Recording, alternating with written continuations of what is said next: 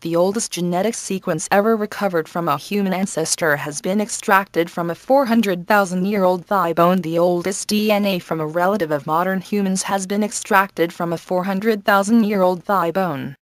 Scientists recovered the genetic material from bones thought to belong to a now extinct species of early human known as Homo heidelbergensis, a relative of Neanderthals.